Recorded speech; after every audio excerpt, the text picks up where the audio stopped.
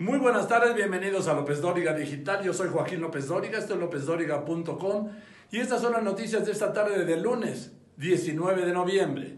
Caos en la frontera México-Estados Unidos por el cierre de tres horas de la garita de San Isidro ante la llegada de caravanas migrantes.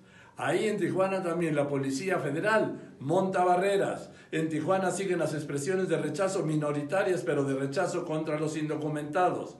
A pesar de esto, el Papa Francisco destaca solidaridad de los mexicanos para estos migrantes.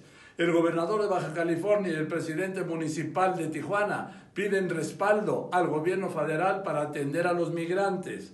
650 son trasladados del albergue de la Magdalena Michuca a la casa del peregrino ahí cerca de la Basílica en la Ciudad de México.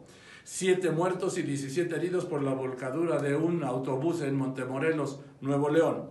El Chapo Guzmán mandó matar a su rival Rodolfo Carrillo Fuentes del cártel de Juárez, revela en el juicio de Nueva York el narcotraficante Rey Zambada.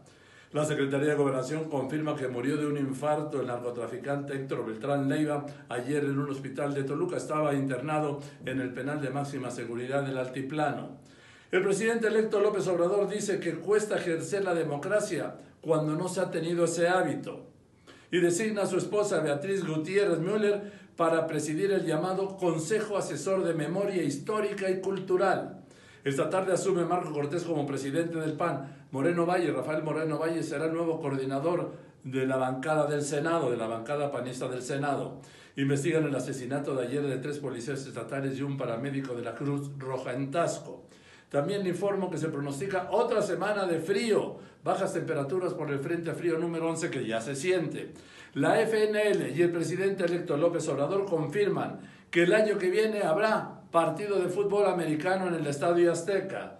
80 muertos y hay 990 desaparecidos y 12.000 casas destruidas en los peores incendios en, en, la historia de California. En este momento, hoy no hay mercados en México, no hay bancos, no hay bolsa de valores, eh, pero en el mercado mundial, en este momento, el dólar interbancario se cotiza en 20.37 y aquí en Ventanilla se está vendiendo en 20 pesos con 62 centavos. Yo soy Joaquín López Dóriga, esto es lópezdóriga.com y usted está informado. Gracias.